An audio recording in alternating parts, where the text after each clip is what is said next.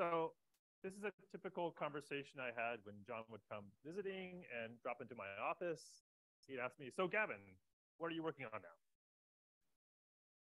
Well, I'd show him some of these things. so there's these great things like called anyons, two-dimensional physics. You don't have to follow the same exchange statistics as three dimensions. You can do universal quantum computation, but we can also do like protected quantum memories. And I told him about braiding operations and how you could actually implement this in physical systems. And he would just stare at me and just say, no. We're not smoking your Majoranas. Tell me something real. Uh, so that's, I'm gonna talk about this um, quantum tricorder, um, which is something I would really like to play with. And this is just the the lovely visualization of what I hope is a future device that was, you know, largely inspired by kind of work that Jon did on quantum sensors. So, you know, there's been a lot of investment now in quantum technologies, a lot in quantum computing, and you often hear, oh, but there's this nearer term possibility of having quantum sensors. And you don't need to do, you know, like the whole enormous overhead of fault tolerance to make these things work. So we should be seeing sensors any day now that actually use entanglement, but we don't. Why is this? Well, it's the same damn problem you have with quantum computers. There's noise all over the place, and we don't know how to tame it. Uh, you got to do entangled probe state preparation to actually get a state that could be useful for sensing. There's noise that affects that then you're accumulating a quantum signal. There's noise that happens during that. And there's many obvious cases you can check where your gain from entanglement is immediately lost just from one error, for example, using a GHZ state. And then there could be noise uh, just before the measurement stage, or maybe you screw up the measurements. And so it doesn't work. So I'm just going to talk about uh, a couple strategies I've been looking at in this direction to make these things potentially work. It'll be in two parts. The first part is going to be about the entangled probe state preparation. And this is work done with people Macquarie, including Daniel Burgarth, who was in the back somewhere. There it is. Uh, Thomas Volz, who's not here, and uh, Matthias and Nabo. Um, and then the second part is going to be some work that I've done recently with uh, Yingkai Ouyang, who's uh, currently at CQT, but will be shortly moving to Sheffield. Okay, so if you don't want to pay attention to half of the talk, here's the too long didn't read. The idea is to um, start off with some easily prepared state, like at the bottom here. Um, maybe just all the spins are polarized. And uh, we're going to look at using some ideas from geometric control theory to involve idea, uh, operations that will couple the spins to a bosonic mode in order to realize geometric phase gates, which will produce entanglement between the spins. At the same time, we're going to do some dynamical decoupling to get around some of the dominant error sources, particularly spin dephasing. And then we'll do some more steps of this and at the end, get to some target state, which is a highly entangled state of our spins, which is ready to do some sensing. And the particular kind of uh, scenario I'm considering is where we want to estimate the strength, call it eta here, of a field that arises from a rotation about the y-axis. Actually, this protocol will work for rotation about anywhere on the equator. So I'll just focus on the y-axis here. So the, you know, the, the estimation of precisionment, the precision estimation of this based upon using a measurement operator M has this uh, variance that goes like the ratio of the, the, variance of the operator for that particular uh, value of parameter eta divided by the derivative of the expectation value of that operator. When the, when the expectation value is taken with respect to the state which is evolved according to this signal. So you could use n qubits to try to infer the angle. Just have a, you know, copies of n qubits, all of them do some little rotation. And if these are unentangled, then you have a, you know, the shot noise limits where the precision of the estimation in a single shot goes like one over the square root of the number of probes you have. That's the standard quantum limit. But in the case of particular entangled states, you can achieve a standard deviation of your estimation that goes like one over a number of parts, the Heisenberg scaling. In particular, um, I'm going to look at how you could do this using Dicke states. So Dicke states uh, for n qubits is in the maximal symmetric space. So in the talk that Pete Turner gave this morning, these would be the states, if you had a bunch of qubits, that would be all a single row. So the uh, in, in angular momentum, that means that the, the angular momentum of your n qubits is n over 2, and there are n plus 1 states here described by these Dicke states, which are just evenly weighted superpositions over all the distinct permutations of strings with a given Hamming weight. So like the Dicke state D0 is the one with all zeros. D1 is this W states with a single excitation shared amongst the n qubits. And then that generalizes for an arbitrary Dicke weight, sum over all these unique permutations. And then finally, the DNN state is the all ones. In particular, like a GHZ state would be just the superposition of DN0 and DNN. Well, okay, if you choose your observable to be JZ squared, then um, there's this formula for what's the variance of eta is. And um, if you choose your initial Dicke state to be halfway up the ladder, so superposition over all the strings with half of them ones, uh, at, the, at the minimum angle eta is zero, then you get uh, this Heisenberg scaling. So this is the kind of target state we want to look for, this state in the middle of the ladder. Okay, well, there's been a lot of work actually in the past, and forgive me if I don't cite you if you've worked on this. I just want to give like a general general idea of some of the schemes that have been considered before for making Dicke states.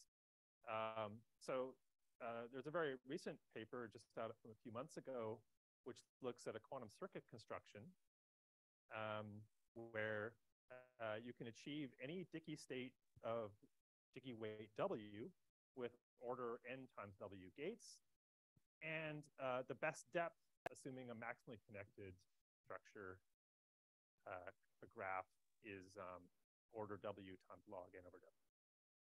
But it does require a universal gate sets and addressability on all the qubits. Um, so there's already some restrictions put in there how well you can control the system. Then uh, there's other ideas like adiabatic preparation. So maybe you uh, start off at the lowest Dicke state, all the spins in zero, and um, you apply some gates which allow you to walk one step at a time from the lowest rung of the ladder to the next one up, the next one up, so forth, without doing multiple jumps so that you can control exactly how you make the amplitudes um, couple so that you get exactly the Dicke state you're targeting. But uh, these kinds of methods tend to have high constraints on the um, adiabatic requirements so that you don't couple outside either the Dicke subspace or to the outside the target state you want to reach. And they don't scale very well. Uh, there's also some state selective methods you can use, for example, using dipole-dipole interactions, but these tend to require very special geometries. And again, they can allow couplings which can take you outside of the Dicke space. So we wanted to find something that would be more robust and also give us full control. So we're going to get some help from boson.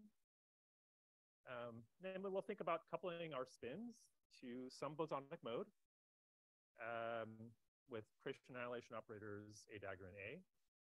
And uh, this doesn't have to be like an optical mode. Here it kind of looks like you know atomic spins in a cavity, but this could be like ions that are coupled to a motional mode, or NV centers coupled to microwave modes, molecules coupled to an optical cavity. There's a lot of different possibilities. Um, and the control we're going to consider here is the ability to do displacement operators on the mode. Um, We will not need direct interactions whatsoever between the spins. And we're going to assume you have some dispersive coupling between the modes and the spin. So that's, uh, and it's, it's evenly weighted across the spins. So W is described by this Hamiltonian with some coupling strength G, and then um, JZ is a Z component, a total angular momentum, and then A dagger A is a number operator. So that's a dispersive coupling. Okay, and the main ingredient we're going to look at doing is uh, a geometric phase gate of this dispersive type. And it involves uh, quite a few steps. Let me just take you through a little cartoon here. Um, well, imagine we start off here on the uh, bottom left corner, and we apply this operator R, which is just the unitary generated by uh, the dispersive shift. And the, the angle here is determined by how long you let that interaction occur. And the sign can be changed by flipping the spins collectively. So you have this dispersive interaction followed by a displacement. And here I'm picturing this in the phase space trajectory. So this is like, you know, one axis could be the q coordinate of the boson and this y-axis would be the p coordinates. So you do this displacement, then let it do the dispersive interaction again, another displacement, opposite sign dispersive interaction, go backwards, another dispersive interaction, then finally close the loop. And you return to the initial point you were in phase space so that actually the mode returns to its initial state.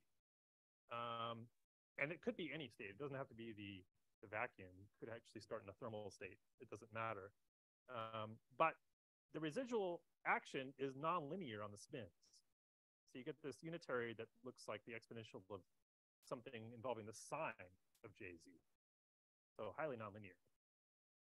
And uh, the parameters in this unitary, well, the theta parameter depends on how long you let it interact with the mode. The phi parameter is just the, the difference in the arguments of, so just really the angle here in the the phase space. And then chi is uh, proportional to the area you projected phase space. So just an illustration of how this works, let's consider an even number of spins. And we choose a trajectory that looks like this square. So we're looking at this kind of square trajectory if you look at uh, the action on Dicke states where the weight is even, then you just follow along what happens. And um, the first step, you displacement. Second step, nothing happens. Third step, another displacement. Fourth, nothing happens. Fifth, sixth, and seventh. So you form this, this square trajectory in phase space. Instead, if you look at the action on the Dicke states with odd weight, then you get one, two, three, four, five, six, seven. Now it's a geometric phase gate, so the action is dependent upon the area tra traversed in phase space. But this area has a sign that's, you could think of it as given by the vector that points out of the page, whereas this one has the sign determined by the vector pointing into the page, and so you actually get opposite signs for these two, and they're the same depending upon whether it's even or odd parity.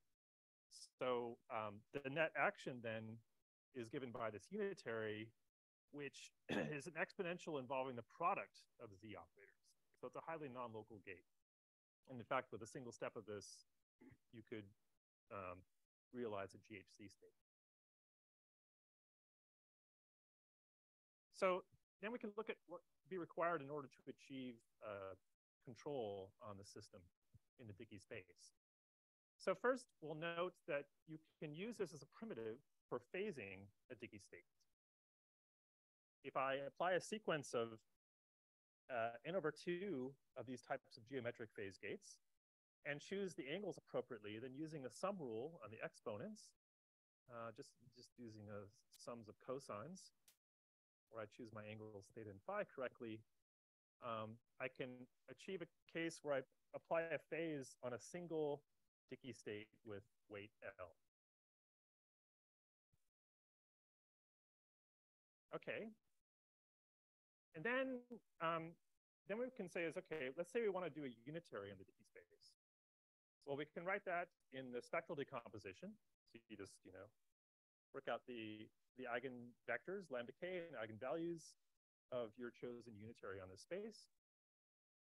And then um, we can rewrite the unitary in terms of a product of n minus one um, state preparations followed by phasings of a particular Dicke state, like the uh, all zero state, and then un undoing those state preparations. So it's just another way to decompose unitaries where um, the, the spectral decomposition can be just done in terms of map the all zero state to a particular Dicke state, phase it, and then unmap. And um, there's some freedom in your choice of these uh, state preparations. They can be any unitary extension of the map from the, the all zero state to your particular eigenstate. Now, each of these state preparations can be achieved by doing uh, compositions of Dicke state, uh, geometric phase gates, and uh, collective rotations, and it can be done exactly. Uh, so the overall complexity for state synthesis is n geometric phase gates, and for unitary synthesis is 5n squared over 2. And it's, it's important to note that these are exact. So as opposed to certain other geometric phase approaches like uh, Mølmer-Sørensen gates, which use the JZ squared type of effective Hamiltonians, uh, this gives you an exact prescription. All right, so how does this work with noise? Well, one of the first things that's certainly going to be present is decay of the bosonic mode. So we have some decay at a rate kappa, and let's say our fundamental coupling strength, the, dispersive coupling strength is at a rate g, then um, it means you won't exactly form a closed trajectory. You'll have some decay. So one thing you can do is you can modify the displacement operators to account for that. So you just modify the amount of displacements along the horizontals and verticals as you close your trajectory. And, uh, and then you can work out what the effective map on your system is when you include this decay. It turns out it gives you a highly nonlinear map on the spins, but nonetheless, you can compute it and work out what the process fidelity is for this whole operation. And um, what you find is that the, the process fidelity uh, for state preparation to say our target Dicke state, which is in the middle of this ladder, uh, is, is lower bounded by this quantity uh, here. So it, it's an exponential, something that involves the ratio of the decay rate to the fundamental interaction rate, and it scales like n to the one fourth. Um, so it's a very weak scaling with a number of spins. Uh, the particular reason for this scaling is because we can do something a little bit more clever in how we prepare this state. We can use ideas from amplitude amplification. So um, sorry, I'm using slightly different notation here for the Dicke states. Instead of the DNW states, I'm using the J, JM states. So J is n over 2, it's the maximum momentum state. And the second number refers to the M quantum number state of JZ. So if we were to start, let's say, in an initial spin coherent state, which means you start with all the spins down and you do a pi halves rotation. And let's say we want our target state to be the Dicke state in the middle, as before. Then um, actually, since we've already seen that you can perform a uh, phasing on a particular Dicke state, and we have the the ability to prepare this initial state S, that actually this looks a lot like the steps you get in a uh, Grover's type search algorithm. So you have um, uh, some initial state S. We want to get to a target state W here, which is Dicke state in the middle of the ladder. And um, you just apply compositions of reflecting about W or reflecting about S. And um, but rather than going like the square root of the number of spins, since the number of states is n, um, we actually, it's faster than that because our initial overlap is larger. So in fact, the, the number of these kinds of Grover steps you need scales as n to the 1 4. Um, so overall, this gives you a complexity for doing the state preparation that goes like n to the 5 fourths, which is a little bit worse than it would be given the protocol I gave before, except the action angles you need to use in the geometric phase gates go like 1 over n versus order um, 1 in the other case. So using these two ideas together, you get uh, a fidelity which only scales very weakly with the number of spins.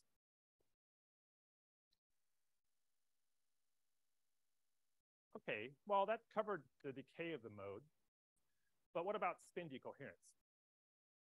Uh, so let's just assume we're in the regime where the dominant source of decoherence is spin dephasing. Now, you know, you should take that with a grain of salt, though, because these are Dicke states. And if you're familiar with the, the physics of these systems at all, um, Dicke states are those which can exhibit superradiance. So if you do have a, a, a mechanism for spontaneous emission, then as you go up the Dicke ladder, you get amplification of the rate of decay. So we have to imagine that we're in a scenario where we're encoding in states which don't have a, an intrinsic decay mechanism or that it's highly suppressed. Um, but what we'll see is that for the spin dephasing noise, geometric phase gate has a kind of built-in robustness. And that is because if you look at this trajectory here,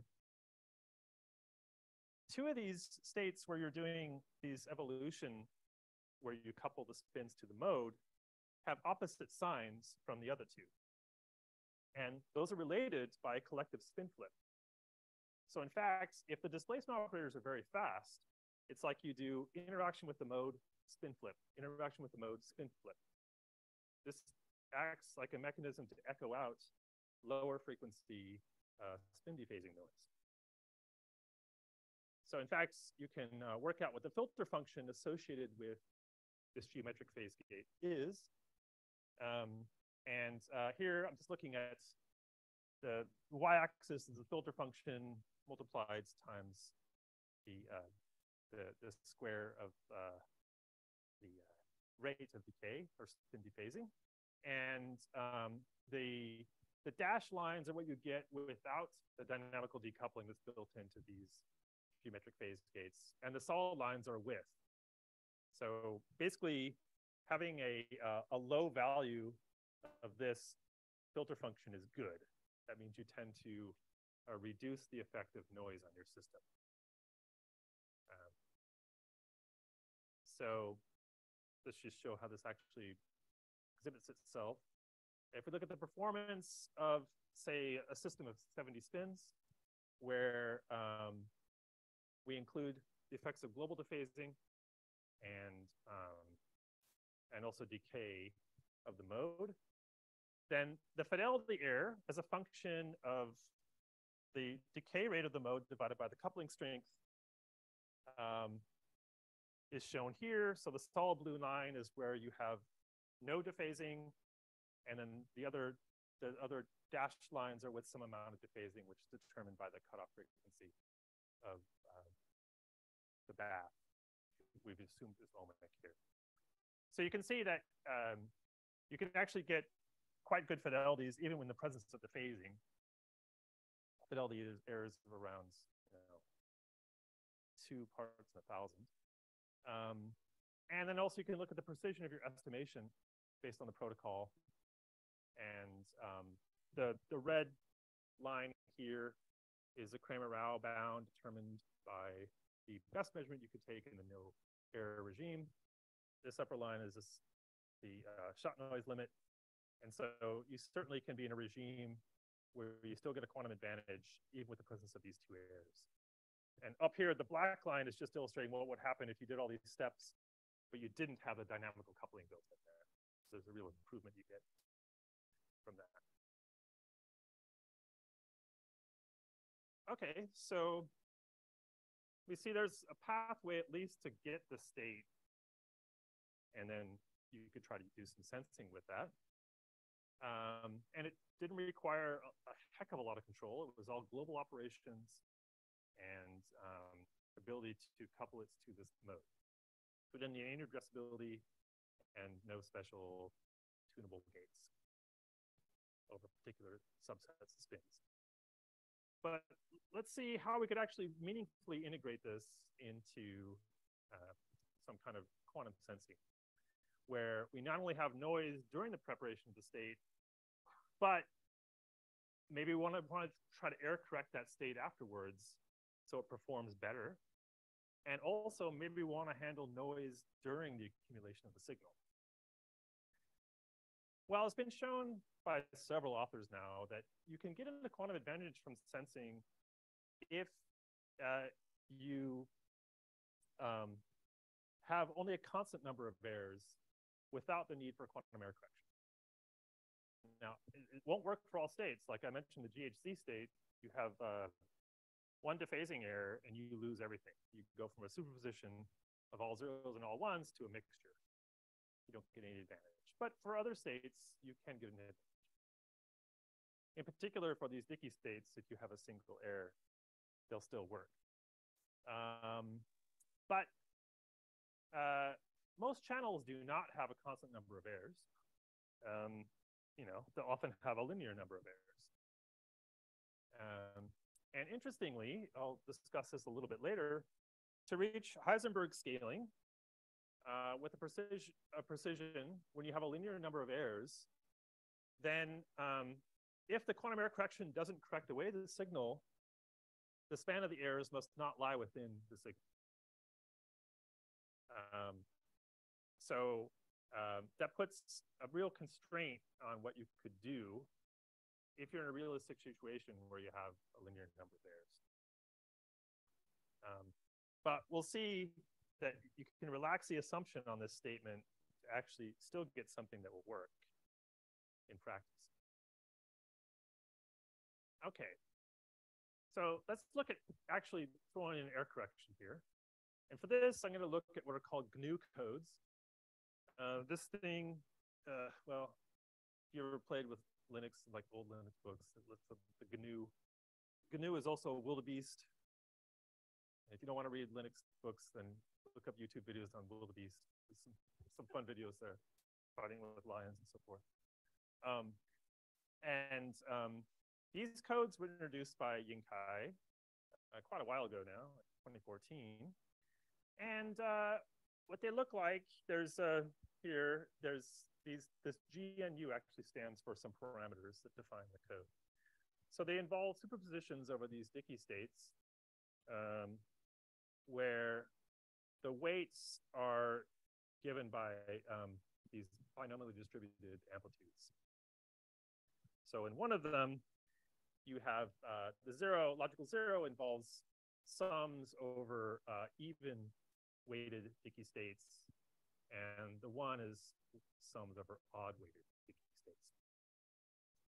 Um, and so the, the parameters here, the G in GNU stands, stands for the bit flip distance, N stands for the phase flip distance, and mu is a scaling number, which is some real number, and the total number of qubits, capital N is G times N times U. Um, these codes are particularly robust to deletion errors, which are erasure errors at unknown locations. So many codes are not robust to such errors. Um, when would this happen? Well, I mean, it can certainly happen in a photonic system where you just had an absorption event, you don't know which photon was absorbed. Um, or it could be, you know, in some trapped atomic system where maybe you don't have the ability to resolve where an error occurred, but you know an error occurred somewhere. And um, in fact, in many systems, uh, erasure errors can dominate. So for example, it was shown recently by the group of Jeff Thompson uh, that in um, Rydberg atom registers, up to 98% of errors can be converted into erasure errors.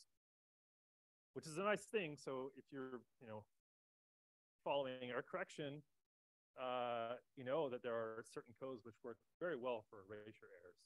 And so you could think about, you know, concatenated codes where you have one that's mainly focused on dealing with erasure errors and a second layer which handles other kinds of Pauli errors. Um, so actually, we're going to look at something, a slight deviation of these GNU codes called GNU's codes, shifted, shifted GNU codes. Um, so uh, these have a nice visualization. So it just involves, uh, you know, do some shift here on the weights. And so like the logical zero here would be the, the red indicated by the states with weight on these red um, weights. And um, logical one is with the blue. And the distance g here is just the gap between these. So if you're familiar at all with uh, binomial codes in bosonic systems, there is an analogy here, except we're working in a symmetric space of spins.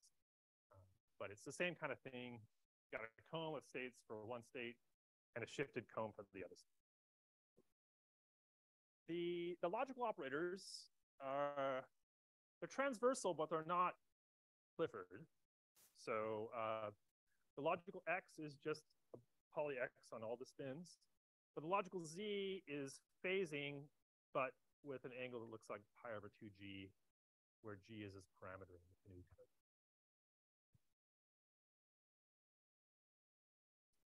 Okay, so how do you make use of these for sensing? Well, uh, we'll start off preparing a, a logical plus state. And um, that can be prepared using the technique I described in part one.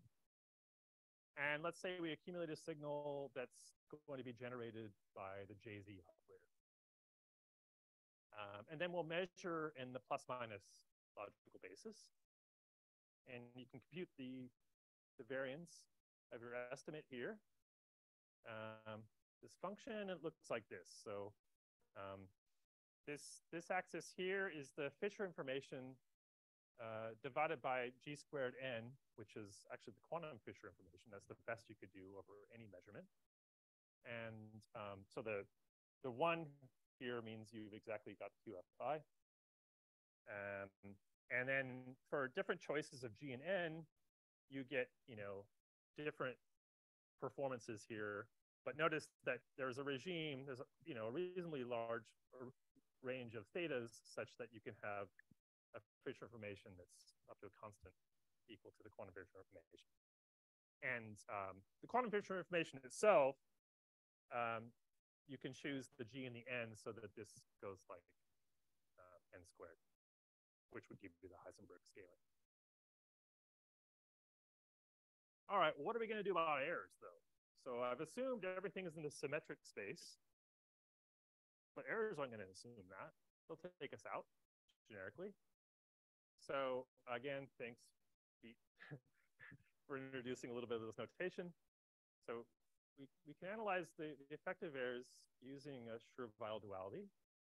Um, so the, the Hilbert space of n qubits is um, also described in terms of a direct sum over Young diagrams, D, and with a tensor product space over symmetric Young tableau and semi-standard Young tableau. All right, so what are all these things? Well, we, you know, go back to the 19th century and uh, look at our group theory books. So a Young diagram is an object that looks like this. In the case of qubits, it only has at most two rows. Uh, qubits, it could have D. And, and the, the first row is always longer or equal to the second row. And the sums of the boxes in those two rows is equal to n, the number of qubits. So whatever the shape is defines a Young diagram. The uh, filling in of the boxes determines what's called a standard Young tableau. And uh, the rule here is that um, there's increasing along the uh, horizontal direction and also increasing along the vertical direction. Now, the actual Young diagram you're in is completely determined by the observable J squared. J squared is a total uh, squared angular momentum for all the spins. Uh, this particular standard Young tableau is determined by collective angular momentum of subsets of spins. So like the first spin, which I call J1. Yes, not working very well. It's not working at all. Um, okay, yeah. So J squared one just means J squared for first spin. J squared two means J squared for spins one and two. J squared K means J squared for spins one through K. Uh, so those those values will determine what that semi or the standard Young tableau is. And then the final one, this semi-standard Young tableau is an ordering like this, where you can just have to have it non-decreasing as you go along the row, and it has to increase along columns. Um, and those states are just determined by the operator JZ. So how might we perform error correction in the case of errors which take us outside the Dicke space? Well, first off, uh, we want to determine this, this Young diagram and the standard Young tableau. So we need to measure J squared among all the spins and then successfully increasing subsets of the spins. Um, the next thing we want to do is we want to measure uh, JZ, which will tell us if we've shifted. So if, if our logical states have shifted, for example, due to an amplitude damping event. Um, but we don't want to distinguish which logical state we're in. So what we need is actually to measure JZ modulo G. G is the gap between the logical zero and the logical one. So it's, you know, if you've worked at all with uh, GKP states and those kinds of codes, you're familiar with measuring modulo some separation between the code words. It's the same kind of idea here. Um, and then once you do those measurements, you need to do a way to do correction. There's various options for correction, but um, I'm just going to describe one of the easiest ones to describe, which is by teleportation. Um, but uh, before I do that, let me just talk a little bit about how one actually could do those measurements. Um, how would you measure total angular momentum? Well, I don't have this problem solved. Uh, I've spent a lot of time. If anyone in this room has any good idea on how to measure total angular momentum, I'm very happy to hear it. Um, you would think it would be a, something that had been discussed a lot. Uh, it's not actually. Um, yeah. Um, you learn it for like two spins, measure it total spin one, total spin zero. But uh, measuring J squared for many spins is just not something that's not concretely described. Yeah, that's right. I don't want to eat my spins up.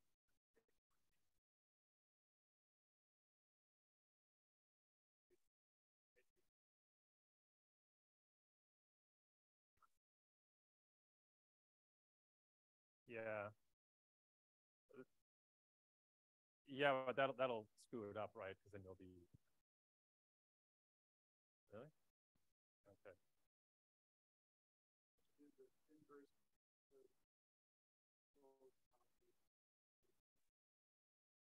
Um, for J squared. I mean, so I could do like a I could do a Schur transform. That'll certainly work. But the scaling is like n to the four. So yeah, I was trying to think of something more direct. But yeah, certainly you could write down a circuit with. Yeah, but I started off in the maximal space. Yeah, so everything was all already maximal J. What's that? Two minutes. Oh my God. Okay. All right. So this is the hack way to do it. Just say I get a couple of boson to it so that I perform a displacement operation on the bosonic mode that depends on J squared. In which case, you know, if you start in the vacuum, it'll push the mode out. You can measure and then infer what J is by detection on the mode. How would you do a modular measurement of JZ? Well, you could use a dispersive interaction between the spins, JZ, again, times A dagger A. And if you start off in a displaced, a vacuum state, this will just give you these blobs in phase space. You measure, and that gives you the modular measure. And then here's how you could do teleportation. So the idea is you've got your your state, which has been corrupted. Maybe it's gone outside the Dicke space, but you have uh, you have already prepared a, a, good logical plus state. So you perform a, a controlled NOT gate between the, the ancillary resource and your corrupted state, do modular measurements, and then um, do a classically determined correction on the um, ancillary state. The control NOT gate uh, is something that can be done again with the assistance of a bosonic mode where we uh, perform basically a controlled displacement operator in the mode that depends upon the parity of the weight of the Dicke state um, of your ancilla.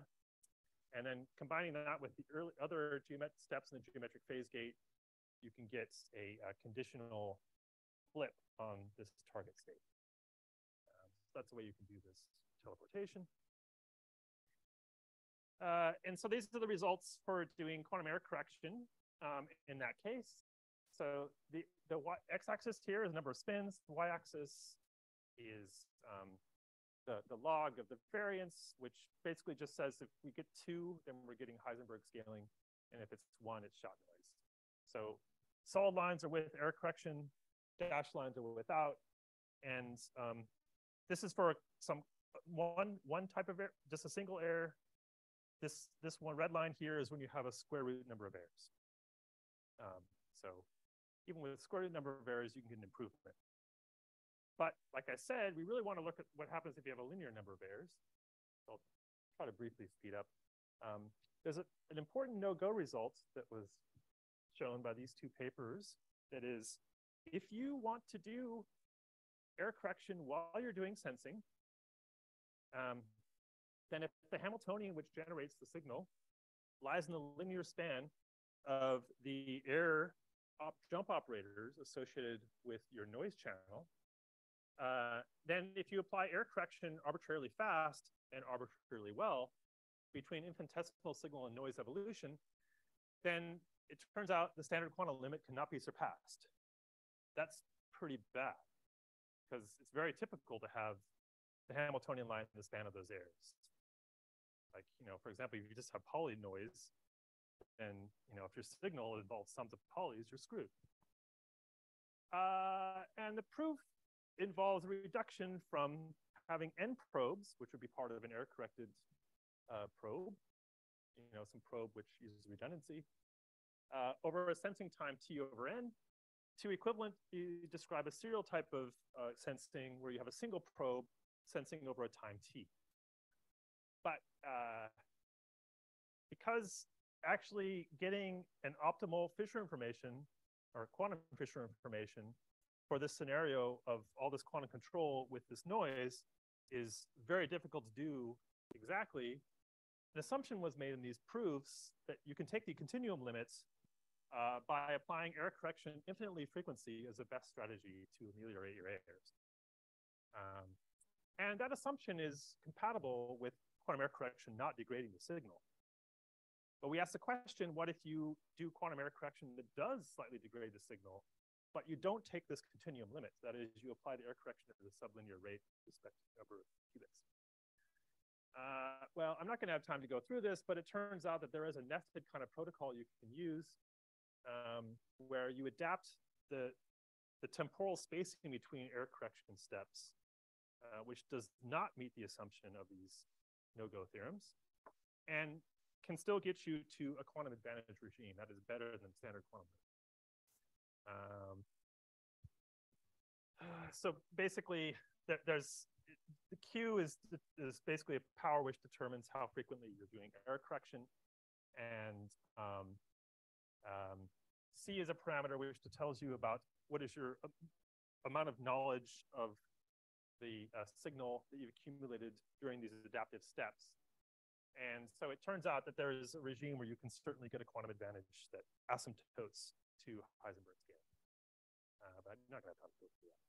So I'll just finish that um, we can use geometric control for quantum sensing, prepare entangled states, and that quantum error correction can be integrated with this to allow sensing even during errors, and the control is not too thanks.